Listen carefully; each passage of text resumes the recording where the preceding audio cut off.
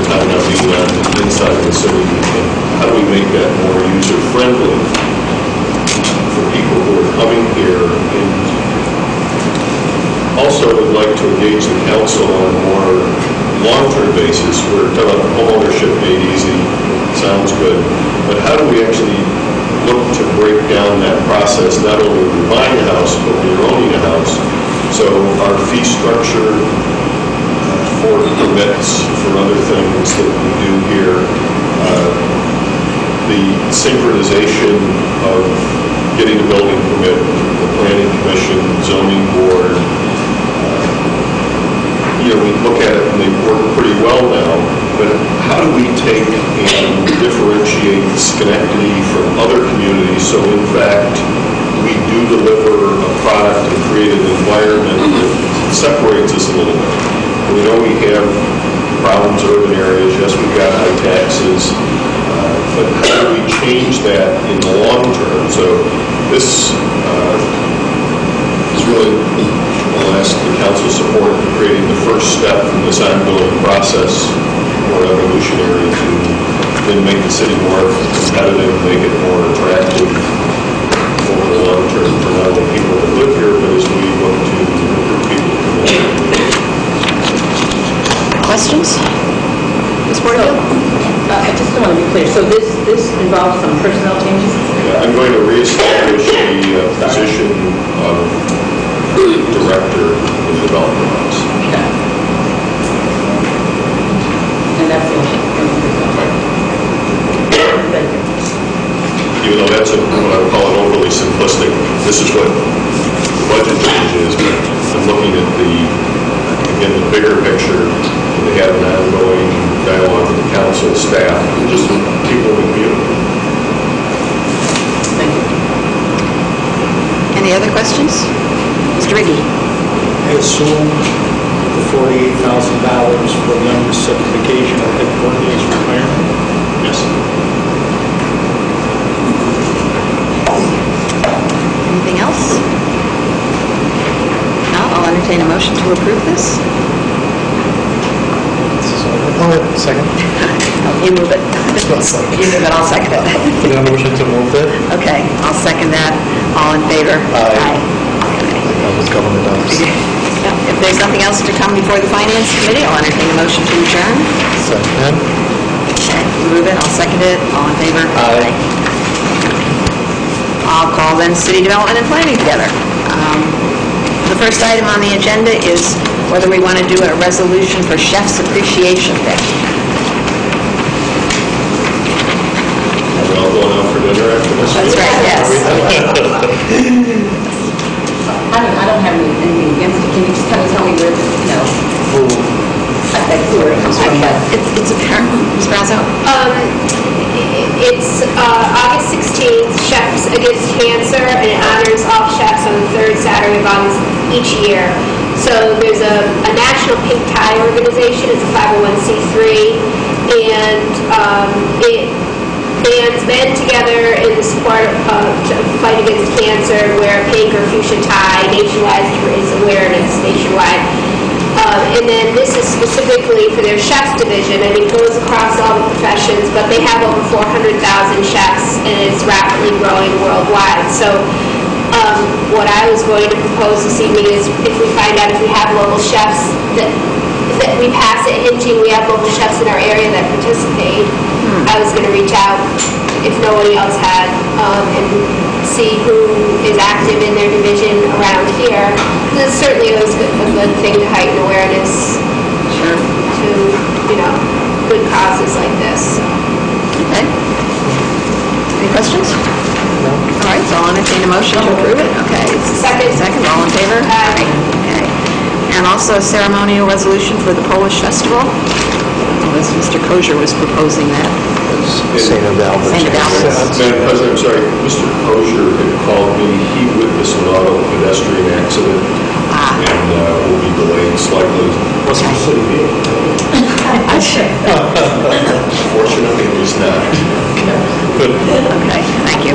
He would have called you then as opposed to calling me.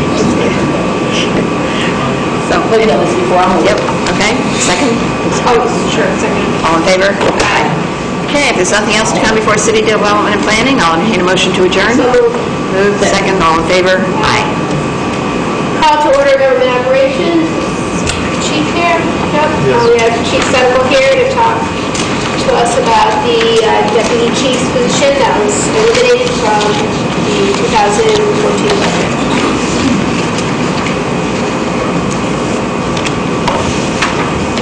Good afternoon.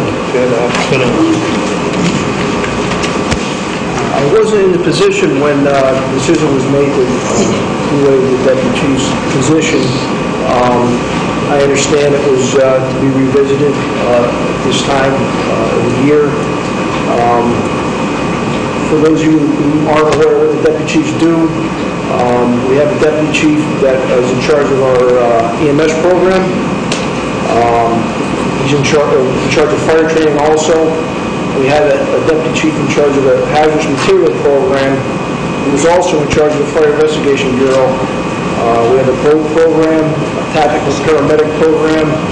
Uh, We have recruiting, we have, uh, deputy chief takes care of uh, new fire apparatus and uh, new safety equipment. That's basically what our deputy chiefs and uh, and staff do. Uh, We had two, um, the one was taken out of the uh, EMS line, Um, so what I've done is, uh, the- with the assistant chief, delegated the duties, uh, some of the duties to him, and um, the hazardous material deputy chief also is in charge of uh, EMS at this point. So uh, the question is, you know, could we use the deputy chief? We, you know, I'm sure the answer is yes, obviously. Think that anybody could use more help. Everybody's very busy. Uh, So uh, there again, I wasn't involved in the discussion. I wasn't in this position at the time. Um, But that is basically what uh, the deputy chief position is. Two deputy chiefs have in training, if you will. Um, So at this point, uh, my deputy chief, uh, the one remaining I have, he's in charge basically of uh, uh, the hazardous material program and the EMS program, as well as fire training. Uh, The other duties have been split up, uh, split up for the uh, assistant chief position. So you mentioned um, of the boat program in there, is that Yes, the boat currently? is not in the water due to um, training issues, and we had some, uh, we had some mechanical issues with it earlier in the year over the winter. But uh, certainly the deputy chief uh, that we we don't have is in charge of the boat program also. Can can you just tell us what the boat program is? Uh, We have a boat that is uh, stationed down the river um, for uh, water emergencies, if you will. Uh, We staff it, Uh, we actually don't staff, it's not staffed, it's in the water, in the event we have an emergency that, you know, we pull people off the apparatus uh, and send them down the river for whatever type of emergencies that you know, may occur. But uh, well, one of the deputy chiefs would be involved in uh, training and organizing that program. So obviously, this position is not funded in the 2014 budget. No, it's not. So uh, have you talked to Ms. DeGenova about any, how that would look financially for the rest of 2014, or? Well, uh, we haven't really discussed it in, in detail. Um, There is some money available in, in the, uh, in the salary line, um, but overall, um, we haven't discussed it too much in detail. Questions, comments? Yes, Mr. You Rubio? said you have some uh, money in the salary line item? Well, there's a lot of lines in the budget, but there's some, uh, due to some retirements, we have some money in that. line. But we also are going to be hiring people. Do you know how much? I do not know how much. Well, I, I guess the one thing that I can say is the way that the fire department budget now projects into the latter part of 2014 is that although there will be some reduced expenses compared to budget and single lines, if you look at the department overall, I believe that it probably will be over budget due to overtime costs. Uh, Do you do you agree? Yes. Other questions or comments? Ms. Porterfield, I'm so sorry. I have to turn this way. Um, You, are you asking for this position to be um, reinstated immediately if Well, let's be clear that the administration is not asking for this position to be reinstated. This is just for, see if we can, okay. Would that be your desire, I guess? Is that what? Certainly. Okay. Um, So we talked about 2014, but have you, I mean, the reason it got cut out was because there was not enough money, you know, because of budgetary. So, um, and, and, and um, looking at that, have you talked to our finance department, like going forward, what that would look like for your department? I mean, that, that's one of the reasons that it was, um, I'm not saying it's not necessary, obviously, based on what you stated it is. We're looking at the budget for next year currently, yes. And what kind of impact has it had not having this position? You- You've described that you've had to um, assign some other duties. Is this increasing overtime in those particular positions where you have to reassign duties? Uh, It's not increased our overtime line. Uh, There again, I I wasn't here when we had it, so we're just, we're shuffling duties around to cover other people, and, uh, you know, sure, we're running a little thin. Thank you. Yes, Mr. So are we, are we having all these duties uh, covered, covered? Currently, we are, yes. Uh, it- It's not easy. I just want to be clear, you know, the city's under pressure, in all departments, people would like uh, more staffing, would like more resources, but we manage what we have. And Chief Senecal is actually compiling a fairly impressive track record in his short tenure. If you look at uh, the number of arsons, it's all running right now, I think at 100%, maybe more in case. Remember that is 8%. They're working together, they're using the resources that we have, and they're delivering results at a high level that the community ought to be proud of, and feel confident that the services are there when we need them. That requires everybody to sometimes tighten their belt and work within the realities of the money that we have. Yeah, I don't think anybody's trying to, trying to suggest that the police, or excuse me, that the fire department isn't running, you know, well, and that everybody's not doing a good job. Um, I think it's more that, um, you know, if we could create a stronger infrastructure for when changes do happen, like the chief retiring and things that would make for, um, a good, smooth transition and, you know, good, solid you know, support within the fire department as one of the busiest fire departments in the state, that would be a good thing, right? So, Um, You know, I think it's just something we should continue to look at and talk about every, you know, little bit as the council committed to when they decided not to reinstate that position. Um, Because ultimately, for a taxpayer, for one, per $100,000 just home, it's about $4 a year. Um, And I think that that's something that the public should weigh in on too, on whether that's of, of value to them. Um, So I, I want to keep being a squeaky wheel about it. But Any other comments or questions, Mr. Brady? Question. Sure. How has this been working so far, chief, with this position out of the budget? How has it been working as far as your... Well, we're, we're asking the existing deputy chief basically to wear two hats, and the new assistant chief is, you know, absorbing a lot of the the duties, not having to go in the water, uh, you know, take some of the duties away that we normally would have. But overall, I mean, it's been, the wheels haven't fallen off the wagon, I assume. Because, I mean, I have to agree with what the mayor said. We have so many department heads wearing 20 hats right now, so it's not unusual within the city of Schenectady.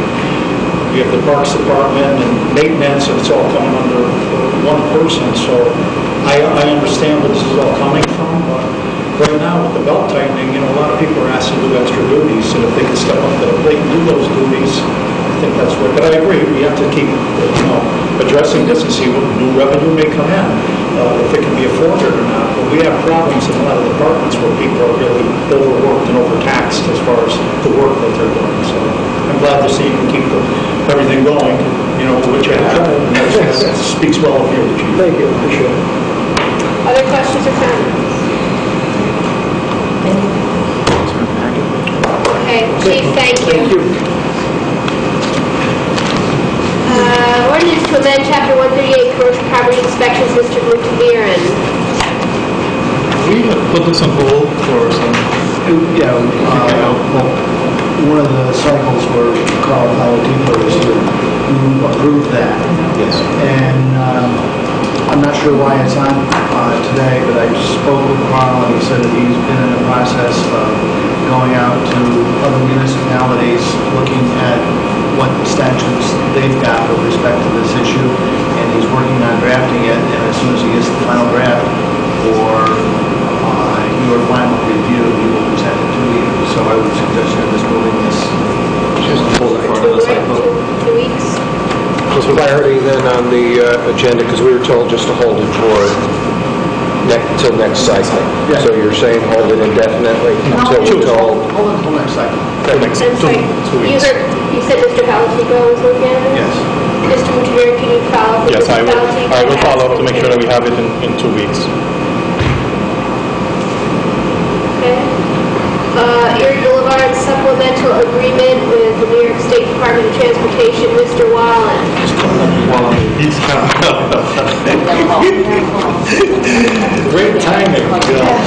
Why, he watches it at his desk. We have to trick him next time. That was perfect. No, he's up there working away. The air conditioners, let me tell you, they really mess up the sound though. So, we're here to talk about the uh, Erie Boulevard supplemental agreement that you have in front of you. The supplemental agreement is uh, for additional design services and right-of-way acquisition related to the construction of the roundabout at and Knott. Uh, All the costs are within the budget. This is just a step in the procedure. We had preliminary design, we had right-of-way incidentals. The right-of-way incidentals identified which properties, portions of properties would need to be purchased to make the project work, which is similar to what we've had on other federal way projects. RK Hite, a right-of-way firm, was hired to uh, evaluate the properties. The properties were then uh, evaluated, paperwork was filled out, and that was the value, about $48,000, which you can't get from this form, but, uh, and that is the supplemental agreement between us and the state for those services.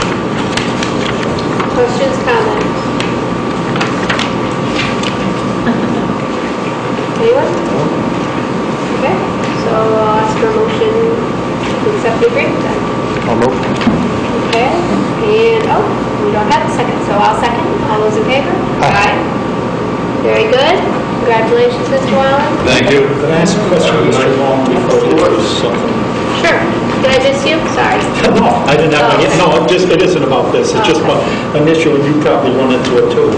When is Millard Street gonna be paved? Because that bump there is awful, can we just smooth that out until it's paved? Large Street, uh, we we can look at smoothing the bump out. Large Street will be paved within uh, either the end of this week or next week. Uh, We are looking to do a, more of a significant improvement to Millard Street with regarding the width of the street. We're, uh, we're going to narrow the street by approximately 10 feet. We're going to install a stone line ditch down the hillside of the street, and what that's going to do is pick up all that runoff, because what we've been doing is working with general services, because in the wintertime, they complained of the severe ice buildup at the bottom of the hill. But before I did such a change, I've been talking with other consultants that I've been working with. I've been talking with other, uh, even the previous city engineer, just to try to get the history of that hillside. Uh, So that, that's why the delay, is that when we come into there, you're going to see a significant change of the hillside, to hopefully pick up on some of that water that's running off of it. But we can look at, just for temporarily taking the Because bump. in and traffic, even investing. tonight, traffic's getting backed up onto Broadway, Because of the people bump. stop short, and it's almost, I don't know if there's been any accidents there, but people, when they get up to that, because it's quite a dip, Yeah. especially where I'm going up. Okay, Thank you. you're welcome. Thank you, Mr. Moore. Thank you. Okay, interest late payment tax collection, that's me. So periodically, in the time that I've been on the council, we've talked about the interest rate, we've talked about the fact that, you know, where's the threshold between, you know, what's reasonable deterrent for not paying your taxes, like, we don't want to give a low-interest loan to people that, because they choose not to pay their taxes, but yet, where's that threshold that makes it almost impossible to catch up if you get behind. And so, uh, you know, we received an email this week from a city resident um, that I feel has quite a compelling story. Um, I've asked uh, the legal department um, and also Mr. Waterfield if he could provide us with uh, a printout of payment schedule so that we can, you know, certainly make sure that everything is you know, as reported, but, you know, we have a hardworking person who's lived in the city 43 years, who went through a tough financial time and almost can't catch up because of the percentage rate uh, that we're charging, which we know is necessary, but I just wanted to bring it up again and, and for our consideration on how we might massage that um, and what that looks like. Because I think, you know, it's worth revisiting. We've talked a long time. I think everybody even kind of agrees that it would be worthwhile to lower a bit. Um, So I just wanted to open that discussion again. Mr. Riggi? I agree hundred percent, hundred ten percent. I think we have to work on, one- to bring people to buy homes, what can we do to help people to stay in their homes that fall into a category like this? And if memory serves, this goes back to the days when our interest rate was so low, and even banks were paying four or five percent interest on savings, well, it was incumbent on some, especially big landlords, to pay late, and they were making more money, you know, with their money in the bank than paying the taxes. So that's why that was changed years ago. But when you run into stories like this, and if you remember right, a year or so ago, there was a fellow that didn't get his, his veterans, he was in, in the hospital, and he did the same thing. He's in a neighborhood house in the Mount Pleasant area that he grew up in, his, his house, he's 76 years old, and he fell into ba- bad time for that, like nine or 10,000. He was able to get a reverse mortgage, that's what he had to do to pay this off. Fortunately, this lady, I talked to this lady, her house is in a candidate because of the area that it's in, for a reverse mortgage. And the house she bought, when she was explaining it to me, it was my cousin's house. That he said, so that's why when she said, when she moved from that house, I said, that has to be my cousin's house, when she told me where it was. And it, and it is. But it is a compelling story in the email that she sent. All she wants to do is stay in that house until her demise. And that's what this other fellow asked of me, and I think there's other people out there that feel this way. They're good people that I think we have to work hard to try to keep them in their homes. Because the other point she brought up, it was a great email, is who else is going to take the house, you know, at that point, and maybe do as well as she is? Because she's current before, she's current afterwards.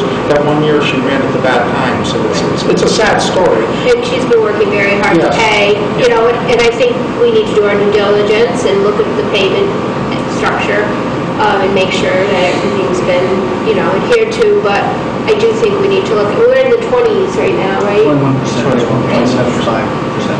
And- What I would throw out for the council's consideration is, uh, again, you have the prerogative for the interest in penalties, but on the, just the fundamental overall policy that you might want to look at uh, a two-tiered system. So if somebody has a, a star exemption in place, they've done the paperwork showing that they're a homeowner, they live there, uh, the state has just gone through the process tightening that up to verify whether there were some abuses of it.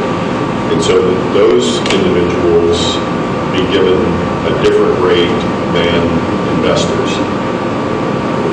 A homeowner here, you get some consideration. And our big problem, again, are the absentee landlords, the investors, who in many cases should not be in the business. And I don't have sympathy for them in general, but understand the hardship of homeowners and how do we work with that, how do we uh, facilitate people who get these uh, financial bumps in the road, and we can work with them and allow them to stay there some level of dignity and again, not put under burden on the city.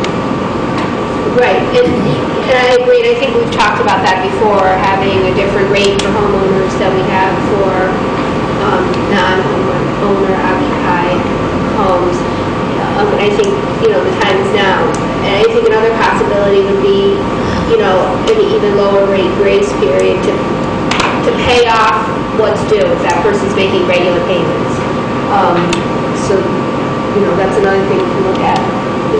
And I, and I agree with, um, that, and I also think that maybe we could look at something like, if some, this seems like a one-time situation with her, if that happens to anyone, not just her, that, that one-time situation, we could just take a look at that particular, you know, their particular problem at that time, know, like with DMV, if you fall, if you fall behind on your, I think it's your insurance, then you get to pay off as opposed to getting the penalty of, of taking your car away.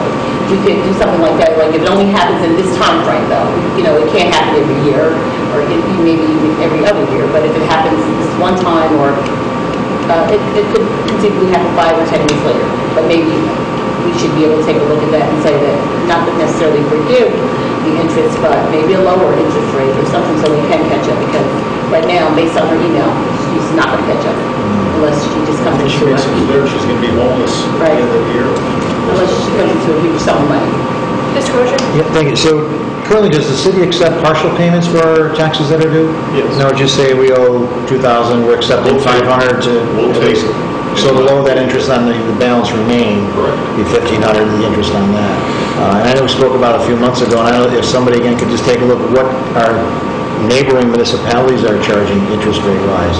And take a look, compare what Albany, um, Amsterdam, Troy, that's uh, what they're actually currently charging. And I do like the idea of a different rate for owner-occupied homes, um, whether or not we can follow up with that. But I I think, I agree, that was something we all talked about many months ago uh, to follow up on. It just happens to be this this heartbreaking email, which I'm sure we have many other heartbreaking cases out there as well uh, that just haven't contacted us uh, for one reason or the other. But um, I'd like to see some comparisons of what other municipalities are doing and what their rates are um, uh, before we move forward with anything else. Well, I think key truly also is if the person is acting in good faith and making regular payments, then it's a different, you know, kind of situation also. So, um, is this something that the law department can work on a basic proposal in accordance to what, you know, other municipalities are doing? Is this something that we need to, We can certainly check with other neighboring municipalities, uh, and then bring the information back to you, and then you give us some parameters, and then we can put together something, but, uh, you know, I, we'll give you the information. okay. Just give us. So we'll put it on for two weeks and then who would I need to touch base with? Carl, Mr. Falotico? No, I'll take care of it. Okay. Okay, um, yes. Um, and while you're looking at that, did you, uh, Mayor suggested that we had two different rates for, you know, one for homeowners versus non-homeowners. Can you make sure that that's something that we can do? Yeah. You mean owner occupied? Home occupied versus investor. Right. How about, I, I think the mayor's suggestion of tying it to the star, mm-hmm. you know, because there they've already gone through the process of approving home ownership. We don't need to do further checking. Is that, is that something that's acceptable that sounds reasonable. Yeah, yeah. Apply for the star. Well, one exception, are we making that a requirement? Because just, don't forget, this is the first year that we, we had to all re-up, uh, re, uh, put the new applications for STAR, and I just can't wait until next year when people see their tax bills and didn't do that. Um, You know, maybe we can hold off and maybe grandfather, you know, maybe we'll look at that maybe a year or two down, but I just have a funny feeling a lot of folks did not reapply for STAR as we all had to do. Uh, this is the first year we had to redo it. If you didn't get your phone calls yet, uh, that's usually what I'm happens. I think it's gonna be a pretty small percentage. You think but- so? Yeah, I think they worked I really hope hard. so, I hope. And then factor in the people that actually have an issue. Yeah. But who does it require? Yeah. I- They will I- eventually get it sometime. Mr. Rutherford, you had a question? Yeah, in terms of the homestead program, I know in this particular case here, it was extended to December 31st. Do we have additional extension? No, no. One, can we look at maybe um, additional extension? If they're paying up to date, they're paying on a regular basis? Um, Well, Like this case that's here? state law. Uh, That uh, provision is provided for within state law, so It's, we can't, by statute, give a formal extension, but if somebody's making the payments, they're close to paying it off, and they're a little bit skewed by time, it's within our prerogative not to do the foreclosure, you know? Okay. It's listed, council votes on, we move in court on, it, so those people we try to work with. Okay. So that's, that's, I mean, we can, we can look at it on a case-by-case basis. Example of the one in front of us here. Yeah. you know, Possible, maybe look at I holding like off on foreclosure. Yeah, I would like to come up with something that's consistent, because I think where we get into trouble is looking at things on a case-by-case basis, because it's very difficult to make some of those decisions, and I think that's when we have to stick to, you know, for the most part, this is what we do. Um, But I think if we had a provision in there that talked about whether the person was making regular payments, like, for instance, this person is making 2013 payments, and, or 2000, she was making payments for 2012, but it was going towards 2013 taxes, so they're actually paid, right, or they will be paid, but on the day she pays those off, 2014 kicks in, so she's still a year behind. So in those respects, I would like to see if there's something we can do with that period of time to assist her in catching up, so that she's not always paying the year's taxes, but yet 2012 sits over here. Um, And I don't know exactly what that looks like, state law, payments have to be credited. Right, right, which is fine, but maybe if that's the case, you know, a lower percentage kicks in or something along those lines. If somebody's really working hard to pay that off, um, you know. Refresh my, did we make it so late to get to that? Originally, yes. Originally. But that's my understanding, that was paid off. She paid that off. Yeah, to the tune of, you know, twice what it actually was to begin with, so. um, Okay, any other questions, comments? So we'll put this back on for two weeks, Mr. Thorne? Yes. Hello, sir. Have a We'll put sidebar, this on for two weeks, no sidebars during government operations. That's where the sidebar takes place, yes. Weeks, Mr. Thorne? Thank you. Okay, You in trouble. next, uh, water service and eviction, Mr. Kosiur. Yes, I'm back in here. This is, you get a full bar.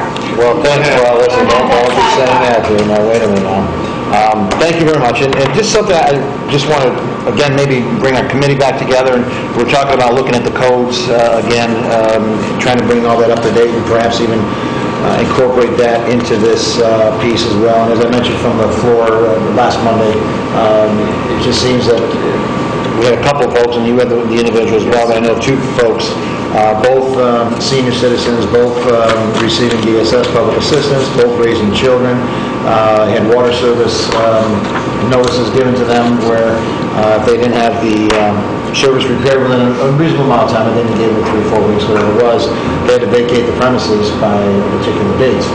Um, And it was coming down to that particular date where the one woman, we actually drove her down to DSS, and she was able to get some assistance.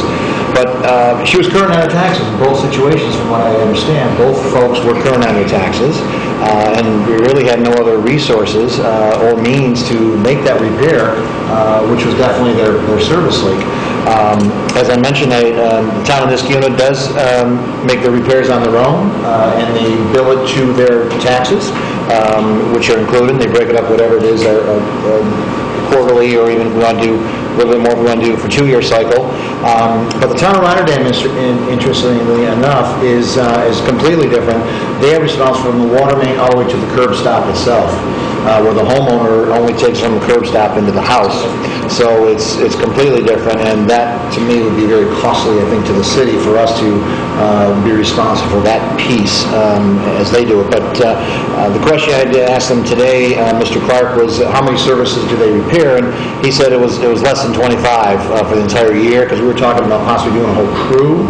Um, But he was off today, he was kind enough to answer his cell phone, so he's going to be back to me tomorrow, he's going to send me an email with the total number the town of Rotterdam has, just for some comparisons, what we're looking at here. Um, But I'd like, Madam President and and Chair as well, to see we can get a uh, committee of of three or four of us on this committee to maybe meet again with engineering, with water, uh, with Paul, uh, to take a look at that whole code, uh, maybe bring up the data, and again, work with the mayor's office, Mr. Funk, and of course, Mr. Polster, to see what we can or cannot incorporate, uh, again, to help our residents in the city of Schenectady who uh, both were in in need, um, and they faced eviction, which uh, they had children in that, it was very, very troublesome. Um, So uh, thank goodness both of them were able to do well, but that was just my concern. If there's something we can do, we can form it, and I'd be willing to sit on that committee as well, um, and whoever else would care to attend to that. Well, this is something that we've discussed a number of times, and I think everyone has concern with regard to this, but it's a lot to wade through. We even have most of the equipment, um, but, you know, there's been a lot of discussion with regard to, is it taking away business from plumbers, and how much does the city, you know, is the city responsible for? I can tell you as a homeowner, it scares me very much, I because coming up with several thousand dollars is, you know, not exactly easy. Um, But certainly, we can continue the conversation and try to find some sort of solution. Uh, Any Mr. comments? LaFond is here too, so I don't know whether, Paul, you are... Is there a way, can we do a committee? Does that, does that make sense? Um, I don't know where I'm looking at here. I apologize for if I'm out of order here, but, mean, obviously, there is a need to do something for some of the people who don't have the means to make these repairs. We also have abilities to, one is, one, Rotterdam lives in the lanes of curb lines. It's in the state right now. That's a responsibility. School does, we alley for towns. You know, they service, there's fewer services done on our state, than Rotterdam and Skate, there's a lot more services. I think it's very, old now, and services still, still go on your system. Um, But again, I'm all for trying to help so we can help, but how do we do it, accomplish it, and take fair everybody across the board? And What are the parameters to, uh, to assist someone? well, be to sit down on a committee if we want to, anybody else, or who would form that, um, Ms. Perazzo or Ms. King, because he'll keep talking about it, but we gotta get it done. You know, let's, let's start those conversations, let's start talking, let's sit, you know, I'm available early morning, breakfast, we love breakfast, lunchtime, whatever we gotta do. Um, But I think we really gotta start getting it done instead of just bringing it to the table and saying, yeah, we're gonna talk about it and just not follow up, so. um, But again, whoever needs to appoint it, um, be willing to really move on this if if we, if we can. Just as a point of clarification, it's not due to lack of follow-up. No, no, I don't, I want It's due to follow the fact that there are so many intricacies that I don't think we've really gotten to a point where everybody, or the majority even, are comfortable um, with going forward. So, you know, we revisit it, but it- there's a lot of intricacies, but we can certainly open the conversation again. I think all of us would like to find a solution. Yeah, That's Just a great question, is it, don't know exactly what you're looking for, extra closure, but is it a possibility that if somebody has a leak like that, is, can the city repair it and, as Mr. Kohler brought then put it on their tax bill in installments or something like that where we're... Uh, right now, no. No. It's not in the... It's do such a thing. Homeowner's responsible for fiction. But the main, a little confusion on the core. Yeah. So, the main, the main is the house. Yeah to mean, could they hire the city instead of hiring a plumber, and then the city gives them an installment plan? That's a possibility. Not that the city's responsible for it. The chief made a point. We're stretched very thin. I have five people on water, uh, water that's trying to do all the flushing, all the main breaks and all the maintenance. We have five people. Also, this work, unfortunately, a lot of the breaks came this year were in the you know, a lot of guys are on vacation. Five people, somebody's always on vacation, so five people. Our resources are stretched very thin in order to do this. And uh, how do you pick and choose who gets the city crew and who has to go hire the plumber?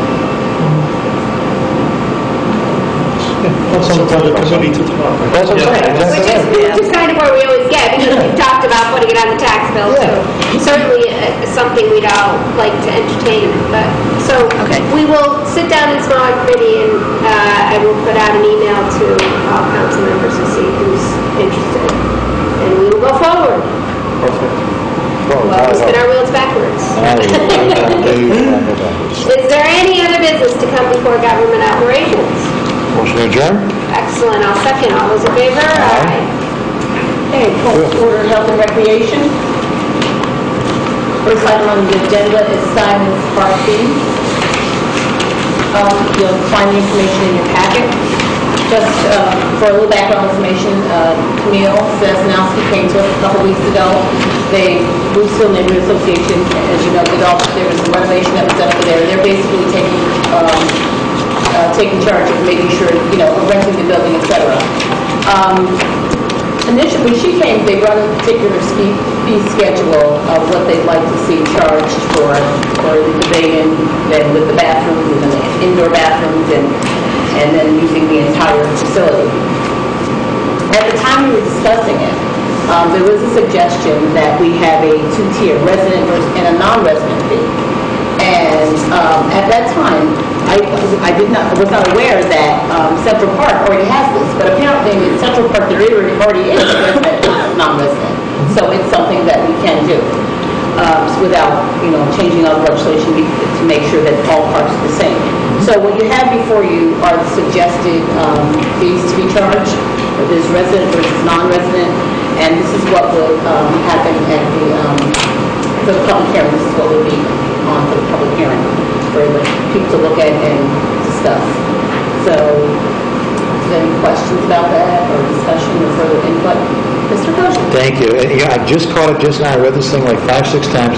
The rental season, um, I don't believe we're keeping it open during the winter. I think we're winterizing it, if I believe, if I'm correct on that. As- Otherwise, we're talking about heat and everything else for the, for the facility. So I don't think it's a 12-month operation. Um, And Carl's not here, nobody from Parks is here, right? No. Um, I'm, I'm like pretty sure we have to double check on that. Okay. I'm- Yeah, I'm like 90% sure it's not Okay, all the way. so you through. want the timeframe? I'm okay with the timeframe. Yeah, oh yeah, the months, the months of the, yes, yes. Yeah. That may be a typo, because down below it says May through October. Yes. So, Yes, it's, um, it's just, I know where you're taking from, that would make sense. I beg your pardon? I think that's the organizational meeting, May through October. So we'll, we'll just double check the timeframe that to be able to make sure that's correct for the, uh, public hearing information. I think it's excellent. Um, But this cost is a four-hour block. Yes, that's the way it currently is at Central Park as well. And then if you look down further, if people want to stay a little bit longer, there's an additional thirty dollars an hour.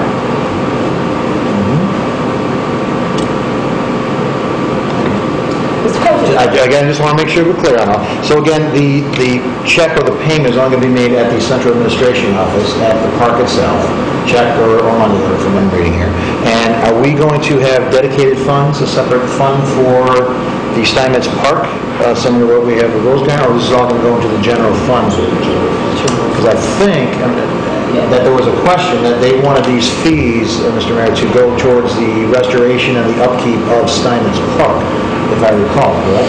That is correct, and they were, they were specifically asking for um, an account that, so that this, so that when the money, trust and agency account, so that the money would definitely come to the city, but an account that was designated only for Steinmetz Park, so that, to make sure that it just went back to Steinmetz Park as, as opposed to being used in all the parks throughout the city.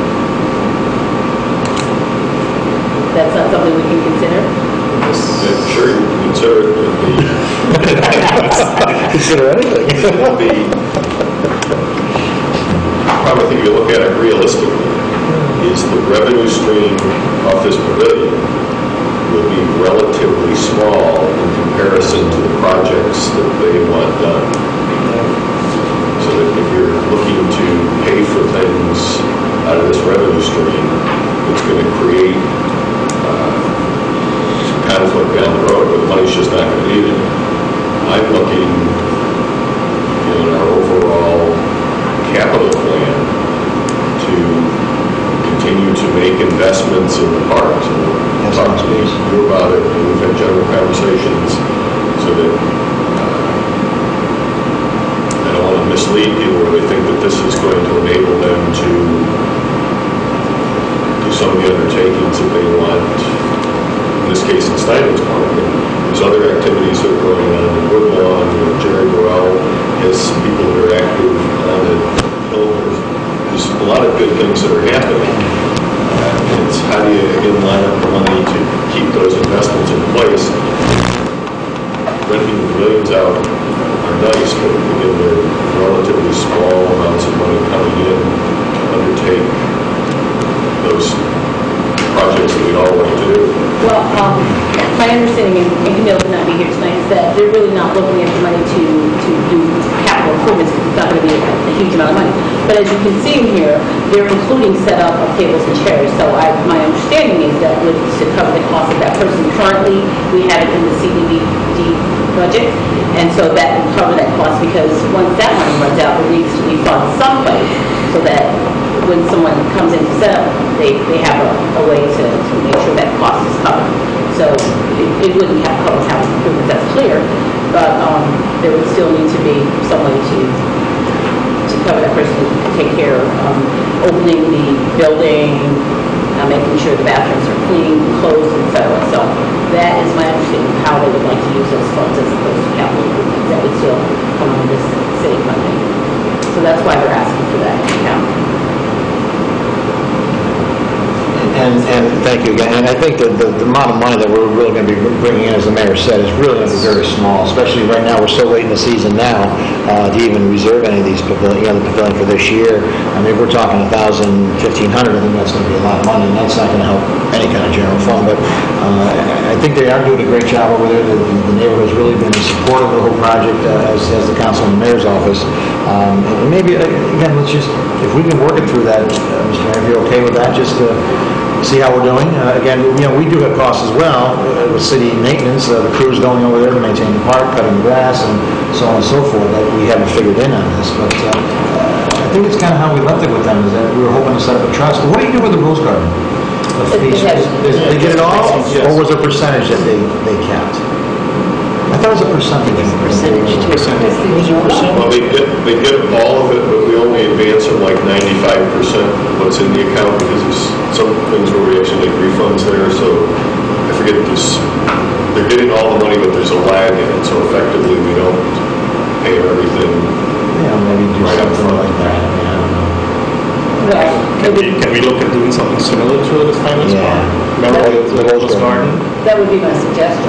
My, my recollection is, as the mayor says, the Rose Garden money goes directly into the general federal fund. And then there is a point in time to take a look at how much revenue has been created to decide all of that revenue, what are we going to transfer over to the Rose Garden committee. That's my recollection. Um, sounds right to me, too. Is that what? That's what I So thought. it's not, it's, it is, Not clean copy. yeah. Okay. You don't have a separate account for the Rose Garden? There is a Rose Garden trustee agency that just, and I have to look and see exactly what flows through there. I think, but I know the Rose Garden Revenue Just Committee, it was just last, about this time last year, we, we came to city council about how much money was going to be transferred to, uh, Rose Garden. I need to consult some. We're all coming in late, but, um, uh, are we talking about using the rental fees for Steinmetz to support Steinmetz Park? Yes. Because there's one thing to take into consideration, a lot of the fees that go to the Rose Garden are generated by fundraising, not by rentals. So, I mean, that's, to be considered too. They have big, you know, events and galas and everything else that go, and, you know, what I mean, so, Some of it you is know, already- what is the Central Park Pavilion going, to you know, is that, I just think we need to look at the structure a little bit more and whether, The Rose Garden is set up, I believe, where they do the fundraising, and it's maintained outside of the city's control. oh, that doesn't go to the The- trust and But the rental, when people are using the Rose Weddings and Garden stuff for like that. weddings, uh, photographic backdrops, Gotcha. we charge a fee structure for that. That is collected by the city and then transferred to the Rose Garden Committee. You know, It's done once a year, or twice I a thought year. everything filtered through the city. And the the other consideration, um, if we're comparing this to Central Park, is that Central Park, um, in this one, there's a neighborhood group that's actually working on it and, you know, really involved with it, making sure that it's open, so where Central Park, that happens strictly by city staff, so, um, that's, that's, you know, kind of separate that from this. And they, you know, they want to make sure that the work that they've done in in investing and all of that, it it stays in a certain condition. Yeah, I'm not against it, I just need to think all the way around it, Right. It's, you know. So, I don't think we ever really answered the question, though, um, is, is setting up a trust agency account something that we could, that's their specific ask, so I want to make sure that ask is here, um, and make that decision so that, you know, we're clear whether that can happen or not. I'm, I'm certainly comfortable with that. I that. am too, yeah. Again, we're not talking much money, I think we're talking, again, like I said, 2,000 tops, I mean, I can't imagine more than that being happening. Um, If if I may, what about the alcohol? Do we, does the city council, like when you have parks or events at Central Park? Waivers, Um, waivers. If you look back here. Well, it says um, none, but, I mean, like, so does Central Park, but I know like there's there's fundraising, so should that be in there except by waiver of the city council? What are we, Special permits. Or special, or how should that be? Right now, my recollection is it's at the discretion of the mayor on application by a not-for-profit. only by non-profit? Okay, the council doesn't vote, I thought it was. Used to, Is that what you- I think I remember. Two, three years ago, I believe. So should that be added in here at the discretion of the mayor, or are we okay with just no alcohol period? But I believe it is nonprofit only. It was really just last year that we decided on that. Uh, because we were in the 11th hour getting, oh, well, we want to get married, can we have alcohol? And, You know, we ruin our perfect day. And so we streamlined it into at the discretion of the mayor and only for nonprofits. Yeah. Okay, if the council wants to, part of that permitting, Yeah. I don't have any objection to it. Now, we'd like to make you look like the bad guy. I foresee some fundraising down the road with them. I really, for, you know, foresee some fundraising with them, so those folks are really very active over there, and I could see a nice gala or something happening down there, where they might want to do wine or, s- or something to that effect. Um, So you Just a thought, just Are you a asking that we thought, change that's the language to be the same as Central Park so that the mayor? Yeah, so it's consistent, so it's consistent, right? If we're gonna be consistent, it might as well be consistent all the way through. So I think in the code, it is consistent now where it applies really citywide. The only interest at this point had been in Central Park. Just got- Then, You should just keep in the back of your mind is Steinmetz and Woodlawn Park are kind of evolving uh, in similar fashion. We've got people who are actively working to raise money, do repairs there. They become uh, models. You look Pleasant, they're, they're like a year behind in the evolutionary cycle where uh, Steinmetz and uh, Woodlawn are a little bit uh, ahead of it. So whatever you adopt, keep in mind that it really should be something that's applicable citywide, even though tonight you're really talking about Steinmetz, but put rules in place that uh, would work for everybody down the road, because I don't want to have something that applies to Hillhurst and then something different for Woodlawn, and it just becomes too hard to manage and really doesn't benefit anybody. Yes, I think that nonprofit designation is the way to go. Right, I agree. but still up up at the mayor's discretion. The mayor's discretion. Still, yes. Okay? All right, so we could um, Include that that language to reflect what it says for Central Park. Yeah. Uh, We're going to add the trust agency Okay? account. Um, I don't think that really has to be part of this. uh, That's the public hearing piece. Right. Very good. Any other questions, discussion? About Sands Park? Very good job. We'll, we'll change it, uh, we discussed, uh, make sure that it's, um, there for the public hearing also. Okay, um, Park Advisory Committee, Mr. Kosiur. Thank you, and thank you for putting it on the agenda here. And it's something we, we're talking about, again, we're talking about consistency amongst all the parks and everything else. So I I really want to, again, with the permission of, of the chair, to uh, really gather, and President, of course, uh, to uh, really look at our park advisory committee and uh, bring them up to, to, to to force and and to task. Uh, And again, maybe even to take a look at all our parks uh, throughout the city of Schenectady, uh, what we have, what we need, as the mayor was talking about capital projects possibly for 2015. Of course, we have to include the roof at the pavilion. Uh, But, uh, you know, the swing sets, the equipment, the playground equipment, uh, you know, Steinmetz Park, we have some equipment that, that's just not even usable anymore. That I'm sure Jerry Burrell and the others. But I'd like to bring that, that committee uh, to task. I understand they haven't met in a while. Uh, There's like five or six members that are already on this Well, committee, I earlier this think. year, I started to reconstitute, I made some appointments, there's been, I don't know if there's been a formal meeting, there's been informal discussions, and looking to continue to staff it, uh, filling out the other positions, I've had conversations with uh, Larry Spring, in terms of the school district's role, again, I'm willing to continue that, to look to fill those remaining vacancies and give them a specific charge to go out and uh, do some analysis of what the park's needs are, put in place some long-term planning for capital investment in just program delivery, whether it's in the city do it, can the Boys and Girls Clubs do it, can the school district do it, so that we create more activity and value in these neighborhood parks. Yeah, including the ponds. I know we talked about the ponds too. Uh, You know, the Central Park, the Steinmetz facility, you know, getting involved with DVC. Uh, And again, you know, I talked to Rich Paterni earlier today too. Uh, He's one of the members of the committee, I know. And uh, he's very energetic to get the committee going and start working. And uh, he was worried about, you know, having members from the different neighborhoods on the committee as well. I said, well, you don't want to get too many. I think there's 11 is the maximum we can put on, I believe. Or 12 maybe, or something like that. But I said, you know, what you want to do there is you have your community forums. Go out to the parks, go out to those neighborhoods and meeting with those neighbor associations and actually walking around the parks with them. Uh, So I think it's a good, thing. it's a, it's good enough, it's early enough right now for us to still get out there and take a look at, at these parks. Uh, Again, if Mr. Mayor, if you're here, and uh, this board feel, if you're okay, we take a look, maybe start filling those slots.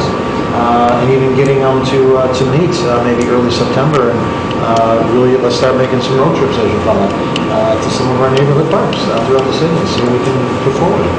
Um, I believe the, um, recommendations are, come from your office, is that correct, for the park? Uh, That particular board is solely my discretion in terms of making the appointments. Again, I- uh, Rich Paterni and Tom Isabella had agreed to kind of co-chair it, get it started, which has uh, long-time interest in uh, recreational activities in the community. Tom, uh, President of the City Council for a long time, chaired the uh, Parks and Recreation Committee, so they have uh, good working knowledge of the history of the parks, some of the good things that happened there. You know, also seen the uh, decline and some of the problems. So it's how do you, as part of the revitalization of the city, uh, I want the parks to be part of that. That's why we started earlier this year, and look forward to continuing that. As what I said earlier, it's really creating value for homeowners. Where it used to be, people bought a house in the neighborhood, they would see the park as an asset. And that isn't really the case anymore. And so how do we go back and uh, get people to use the parks, take some ownership, and uh, make sure that they're uh, things that reflect well on everyone. So Mayor, if, um, someone's interested in serving can they, that maybe is not a person that you would necessarily, um, be aware of that was interested, could they just submit their resume or contact your office? They could. And Mr. Kosiur, you, you mentioned that maybe all the neighborhoods um, shouldn't be represented, and and, um, I know they all can, but I think that we should try to get um, people from different neighborhoods so that, like, everybody isn't from one particular neighborhood, so. Oh, I agree 100% on that. I know we can't have, well, we could have 11 people, the legislature said that, that we may not want to, but I think we should still try to spread it around so that people reside in different parts of the city. Absolutely, question about that. Yeah, see, the other piece of the whole committee too, and I don't know if it would fall under there or not, uh, Mr. Mayor, is the, um, the the non-regulation that we have in place for our vendors, our food vendors that are currently in our parks. Um, Mr. Riggi was there, as as well as the city clerk. Uh, We were there a couple of occasions where we have vending trucks uh, next to Tiny Topland who were actually leaking vegetable oil, leaking regular motor oil out of the trucks right into our blacktop paved areas. We had gas generators going right next to Tiny Tots Playland. Uh, And the thing is, we we really don't have these regulations in place anywhere. The county issued them permits, and so did we, obviously. Um, I talked, spoke with the county folks, they uh, issue them upon inspection of the vehicle early in the year. I mean, we saw the one truck, it was, the guy insisted it wasn't his truck leaking, I got down on my all fours and looked at it, it was coming right from the tire rod, just dripping like it was, uh, the Beverly Hillbillies coming out, you know, the black gold Texas tea, it was coming out. Uh, But it's, it's ruining our lots, it's ruining our, it was ruining our, our, our- the facilities, and again, we had parents trying to use tiny Thailand uh, with a gas generator going on. But I wonder if that was, is that something we can encompass into that committee as well? Take a look at some regulation, or is that something we would do out of our group, Parks and, or the Health and Recreation Committee? Uh, We're just gonna take a look at that, there's nothing there. When we all to look at that, if I'm made aware of situations like that, they're going to be remedied immediately. Yeah. So we're not going to go through committee cycles, we're not going to do stuff. we're Right. gonna Move along. Give them up, yeah, and they did do that. Uh, so The, the city clerk was there, and deputy fire chief, we had them all down there. Uh, and they did a great job, but again, their, their question was, we don't have any regulations in place uh, for them to really look at. Um, That was the Call problem. me, and we'll make sure that people act in an affirmative manner that solves the problem. Very good. We have things in place to pull their um, headlights in. That's how- That's how we stopped them. I went up there and and suspended their, uh, their vendor's permit. The, the- the law, the ordinances are there. Yes. It's just Uh, enforcing it. We weren't aware of it. Yes. We weren't aware of the problem. As soon as we were made aware of the problem, we went up there and uh, Again, when people it was remedied. do the applications for permits are granted, there's an assumption that they're going to act in a manner that reflects well on them, reflects well on the city. If they don't do that, we want to know about it, so that we can take the appropriate action to remedy. it. Um, And and I actually heard from um, one of the vendors as well. And so when we, I guess this is really a question for Mr. uh, Mr. Thorne, when we give someone, a permit, do we designate where you can or cannot set up in the park? I mean, that, because apparently, what Mr. Kosiur's saying, they set up in a place that just is, you know, really not conducive to the quality of using the park. So is there something specific that says, this is the area where you can vend from?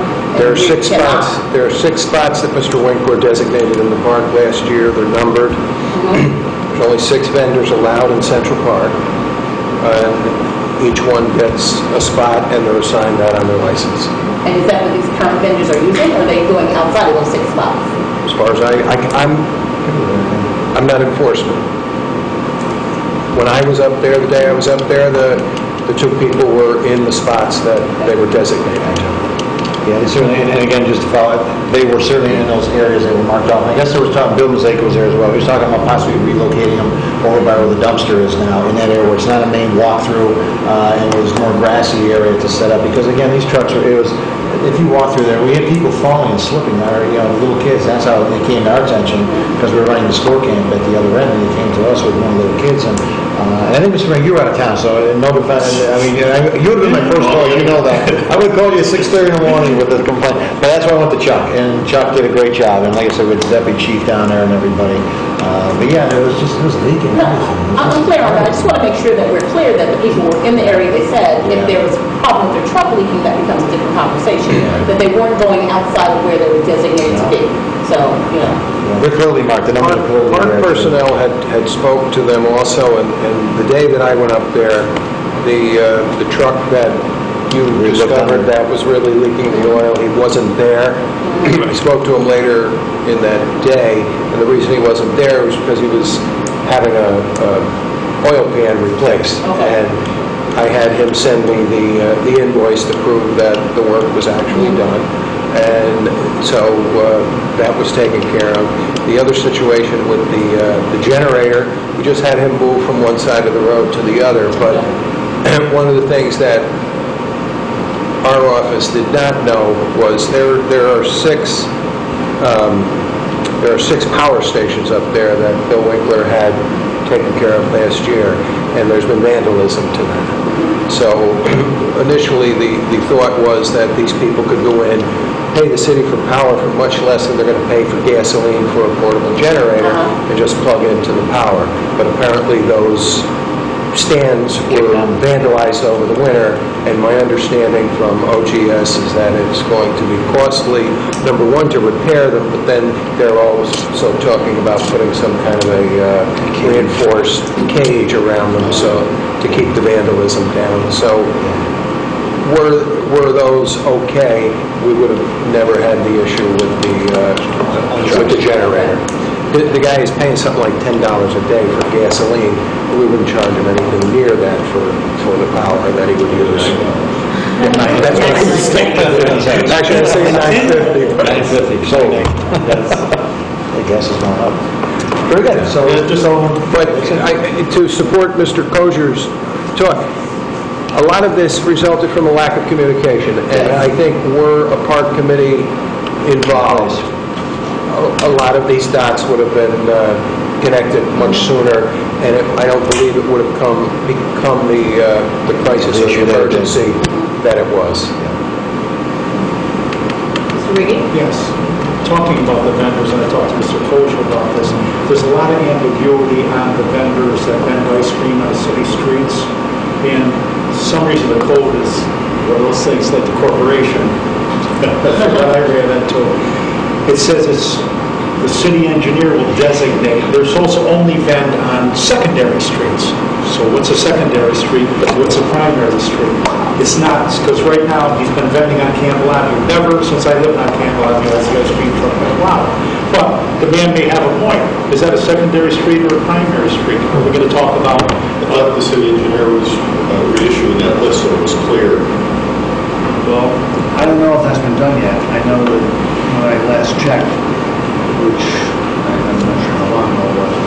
When was- December comes, we won't have to worry about that, that's for sure. But I mean, it is, it is a danger because there's, there is a lot of children.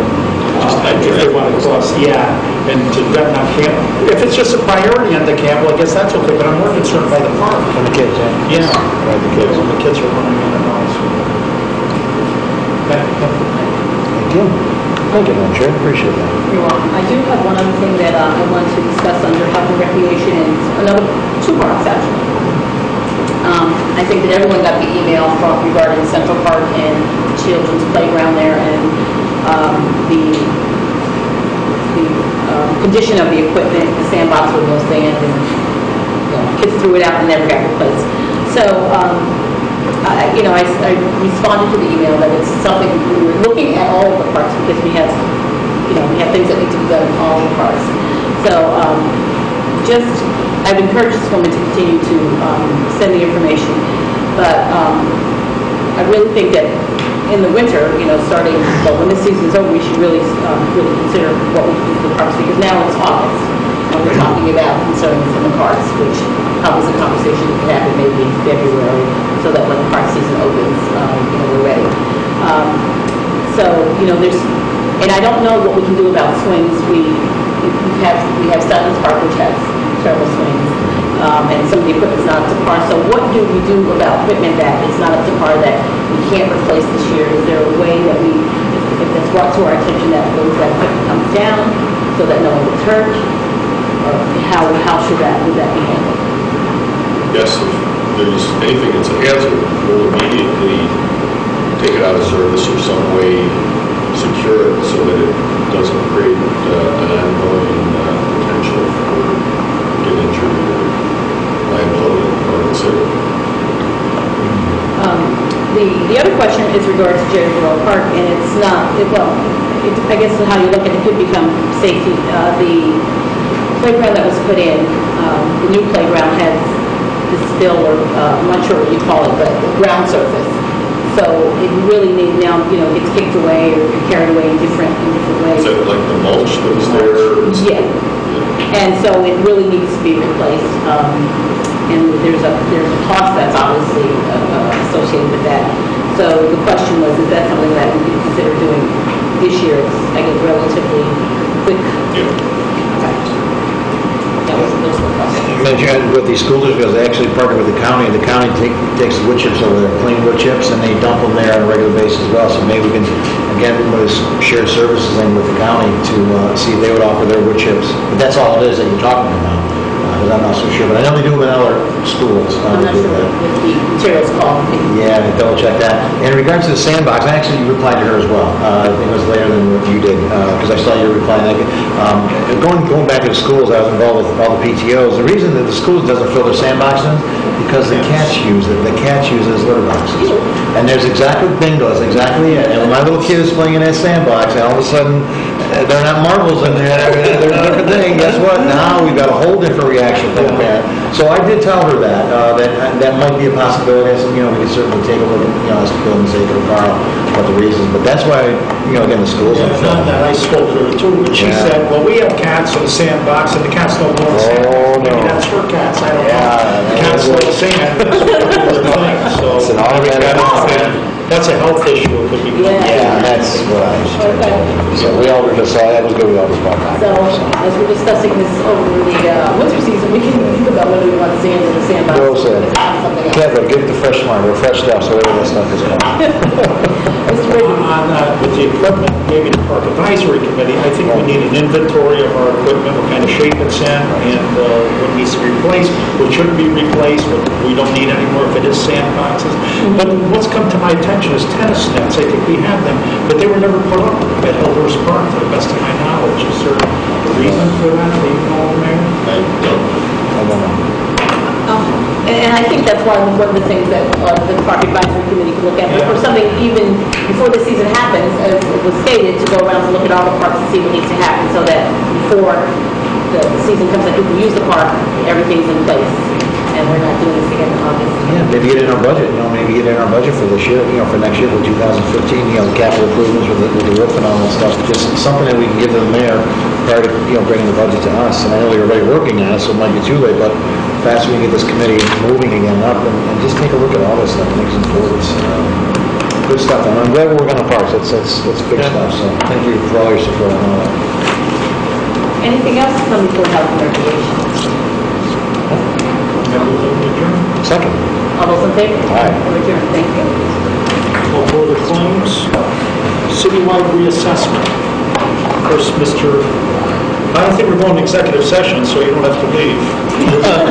Free to do what you want. I want to leave. Unfortunately, Mr. Erikson resigned, this was something that he was interested in also, and the mayor, I defer to you coming back, hear your feelings on on this issue. just uh, give a quick summary of my position. The assessment that all that we're working under now, last assessment done, pretty much coincided with a peak in the market. And then we went into a period of decline, and we're using an equalization rate, 122%, 123%, which comes close to, think, uh, reflecting this, but how do you level that out and put something in place that uh, is fair and accurate? One thing that I want to do before we would consider the uh, reassessment or starting the process is to get the section 108 line, loan lined up, to get the Attorney General in on Friday, did a uh, press conference, all that stuff, the land bank money coming in, where we eliminate the worst of the worst blight. When we get rid of the properties that have uh, just such a negative impact on all our neighborhoods. And Some of these houses are in every neighborhood, no place is immune from it. And depending on which study you look at, you know, it's within 1,500 feet, it's within 2,000 feet. One of these properties decreases the value of everybody's house. So that if we can get move forward 108 loan, worked with the Attorney General, uh, got some of the banks lined up who will put mortgages in here. It will get rid of the worst of the worst and start to uh, create value. And I look at this, we're, we're doing the foreclosures now, and there are 240-some properties on the list. That number may vary a little bit in the last few days. But by getting rid of the worst of the worst, if you add $1,000 in value to each one of those houses as we sell it, that's just that much more money that the city will benefit from. And so I want to clean up some of the problems, uh, move down that path, continue down the path that we're going down. And we can start to look at the uh, reappraisal, timing of it, becomes a multi-year project, and then how do we line up the money to, again, be able to pay for it? Well, my concern has been, is the inequity in the assessment rules, since a lot of people, know this year, how many people were in the of board assessment review? Just approximately. I don't know the number, but that number is probably available. But I mean, we have been granting a lot of tax certs, especially commercial properties, so that automatically skews the roll, no matter what happens, even if it evens out at some point, where it gets spread out to everybody else that hasn't been granted relief, that hasn't been granted relief. So the roll is skewed, and I think it's something that we have to address at some point. I mean, what's the time frame that you have in mind? Maybe because right now, the roll's really messed up, as, as far as I'm concerned. Uh, Anybody that's been granted relief is paying less, and, and it's getting pushed over to those who haven't either grieved or, or went through the tax surcharge process. So that's a concern of mine, uh, as far as fairness and a level playing field. In the initial time would be starting to look at how you pay for this budget cycle. We'll start to lay the groundwork for that, and then how do you actually do it? Do you do it all at once? Do you do it in a phased manner? Again, it still becomes a multi-year project. Even if everybody agrees and you start going forward today, just the reality of it uh, takes a couple of years. What, what, do you know the approximate cost to, um, to to do it? Talk about cost. Uh, I don't have the good numbers, you know, what component do we do in-house, what do you have to contract out? And again, it becomes the timing of it so that do you know what Data's pretty current, though, wouldn't you say? You think we'd have to collect data on? That it's Especially we have early, an aggressive building. Again, it, again, it is in theory pretty good. It's fairly current from the last one.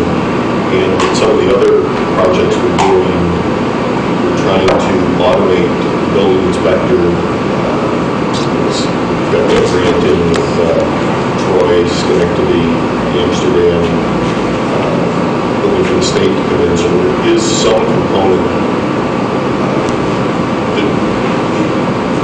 we're going to do anyway, it would be applicable to be used in a reassessment. It would also be used in our analysis and planning that we're doing now for police, fire, and other undertakings. So it's all those things, you get really a double hit by being able to do them together. And one other thing, if and when, when this happens, I think we really have to, on a yearly basis, update the, the assessment bill, since it does change, this market's pretty volatile up and down. And if we can do that, then I think we won't run into this big problem, hopefully in the near future when this happens, because that wall, like you said, when it was done, it was at the peak of the market, right after that, it tanked within a couple of years, and it, it reached, kind of really messed everything up. But if we can keep after it on it, I would think there's got to be a program that we can have that shows neighborhood sales in different neighborhoods, different neighborhoods are going to be different on sales of house and house springs. If that can be plugged in, we can keep the roll somewhere where they belong. Hopefully, like, uh, my point is, if we do this again, which I think we have to at some point, I agree with the mayor, if the- we're going to at least start looking at the next budget process, that we can keep it up to date, so we don't fall too far behind. And that is, an issue within the assessor's office, the ability to do that. A lot of the uh, information was manually maintained, so that you get uh, sometimes the uh, inappropriate uh, application of uh, authority within the office, you get uh, just things that are very time consuming to put in place. And if we get everything computerized, get it there so that it can be maintained in an accurate, fair manner, it works to everybody's advantage. Any other questions, comments? Just a question, so we're working towards computerizing it at this point? Well, my focus is, this would be a very small component of that. We're working on a regional basis, really statewide, to get uh, our building inspector records uh, computerized, to get the entire housing uh, profile, say housing, all our property profiles available accessible for other departments. Example I use, when the fire chief go out, fire at 2 o'clock in the morning, they're getting there and they don't know who the homeowner is, they don't know building permits are an issue, they don't know issues with the property that as an incident commander, I believe they should know. They don't know police activity, other things, so it's, you know, one of my priorities to get uh, in place systems that we can exchange information internally. And, uh, one of the things that uh, learned over this in New York State, and it's kind of my elevator pitch that I make to state legislators and other people I run into, is that New York State has very sophisticated data for police and fire, but building inspectors' data, is allowed to the discretion of the local building inspector and the information that is required by the state is at best superficial, and there's really no analysis of that. And what it seems to me is if we can do more detailed analysis of property uh, it's starting to become distressed, where people aren't paying their taxes, you have a change in ownership, some of the the grass is too long in front of the building, the house, if we can deal with that early on, then we're not spending all the time and money on police and fire services five and six years down the road. But these distressed properties, where the cost, uh, you know, estimates we have in the city, they run over the lifespan from when good and productive ownership to the city is cleaning up the mess. It costs about $60,000 a parcel. So where you have a potential of uh, a thousand of those properties, understand the magnitude that we're dealing with. That's why our uncollectability is up and actually it's going down. It's such a big component of our tax revenue stream. People just aren't paying the taxes. We're spending all the money in the wrong direction. I'd rather coming to council saying we're going to spend it doing these programs and equipment in the park, the paving streets, doing positive things, as opposed to keeping the Band-Aid and maintaining uh, the distressed property.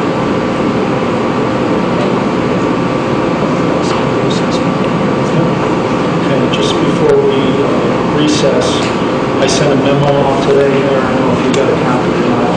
I know Mr. Mootooveren and you have asked for a little more information on dangerous logger routes. I think everyone else has got one. Yes. Now, I talked to you before about this, Mayor, this is something you could probably do administratively, correct? Is this the recommendation? Is this the recommendation? What are you asking me to do? to place, if there's a dangerous dog uh, owner that we place online uh, on our webpage. Or these dogs have administration. dog registration. Is this on the agenda tonight, or what's? No, I'm not. I'm bringing it up under claims. Claims? Yeah.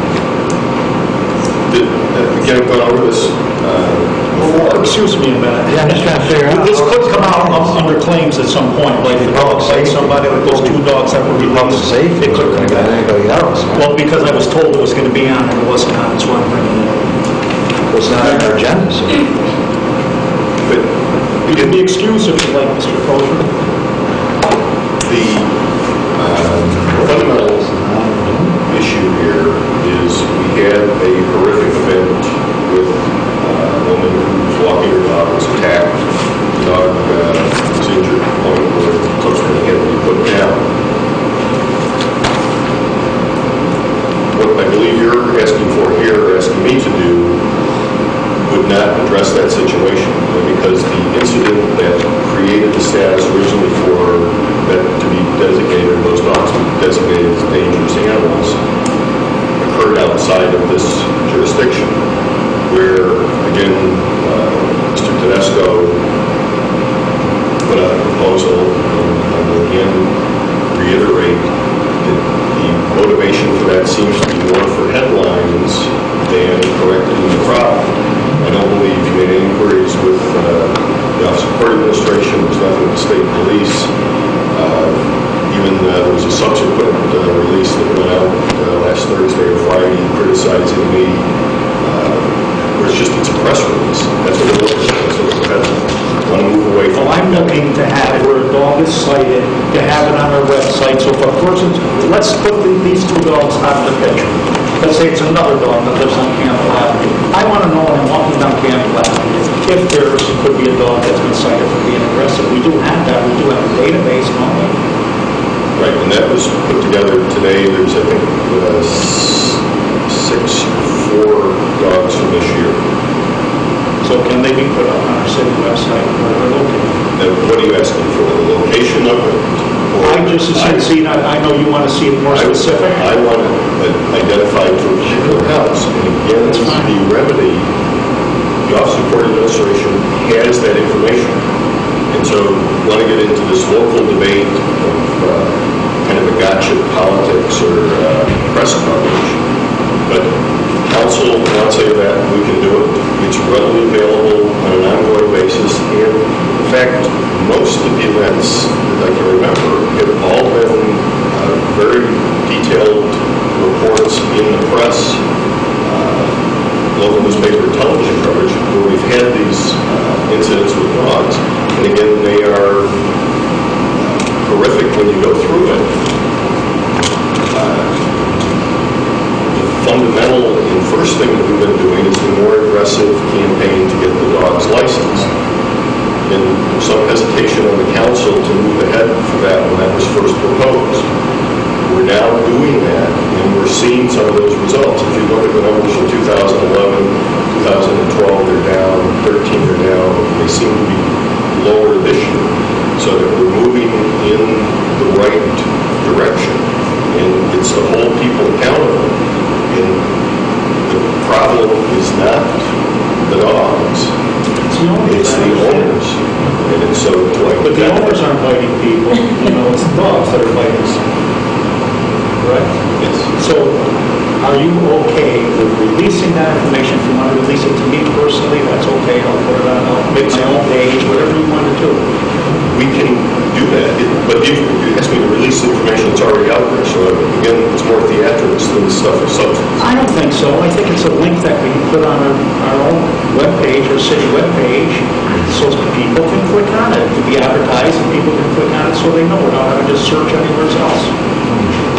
Again, that does not address the fundamental problem of making that available so that you have people, you know, maybe in one jurisdiction get cited and then move someplace else. They were cited in our jurisdiction also, weren't those dogs?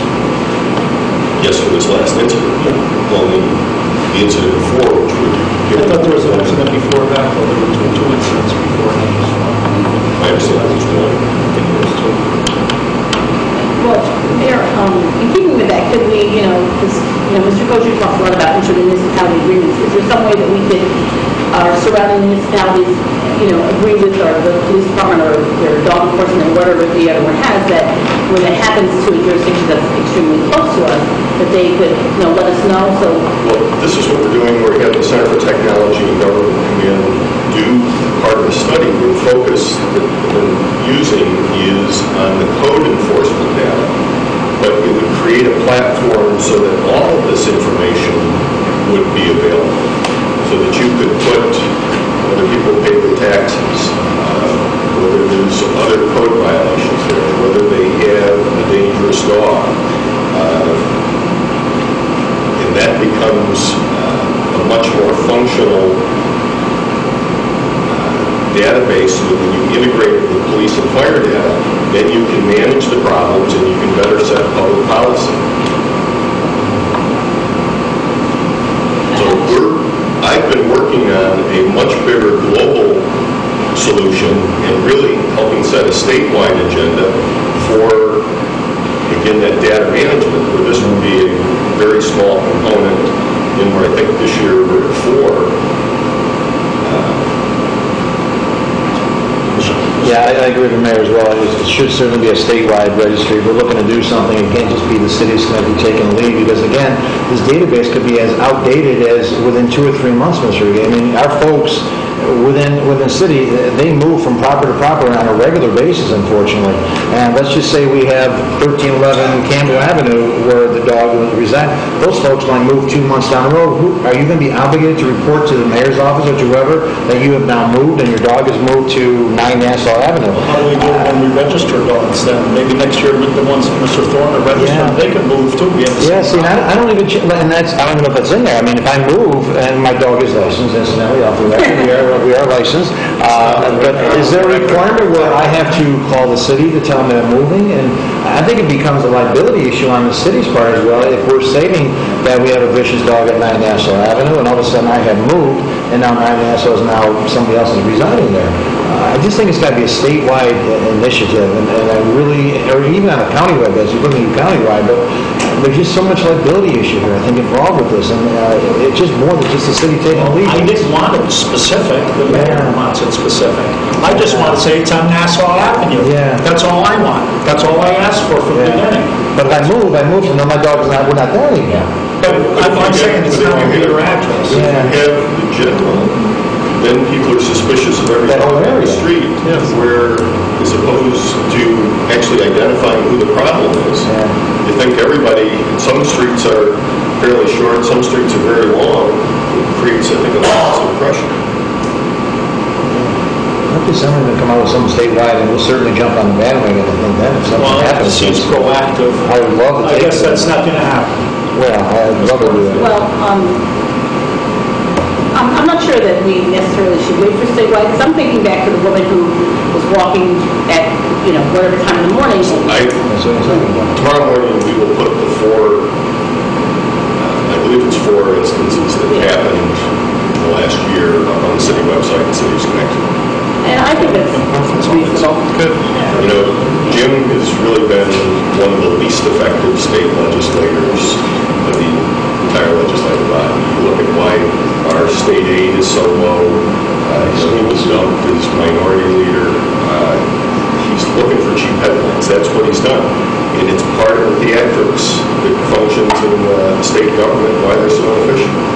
My only concern is for public safety for business. And that's mine too. I don't want to get into the politics. You can blast Assemblyman Tedisco all you want, Mayor. I'm interested, this is me that's talking, not Jim Tedisco, I'm talking. That lady, you saw the pictures of that dog, and it's heartbreaking. So if we can save just one dog from that happening to, I think it's worth it. What's the big deal? Put it up on the website. This isn't rocket scientist stuff we're asking for. That's all. We'll put the four, I believe go up. It will not solve the problem. I just want to bring up a separate topic, just as a general statement. Um, Last week, very quickly before, we we have a problem property in Bellevue um, that I think we've all been working on, but I I would like to ask everyone on the council that um, we refrain from using specific addresses, because I just don't think that's fair. Um, the specific address thing came up, but when we have a problem property, or when we have people complaining about um, a property, or we're citing property or whatever, I don't think it's fair to the homeowner to use a specific address um, if it's being tended to.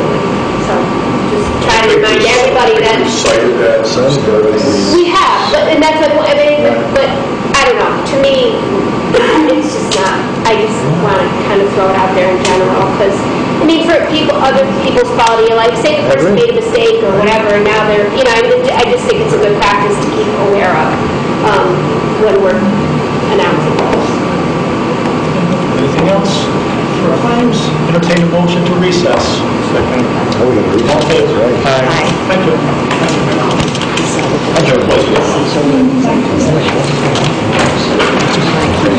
Sure.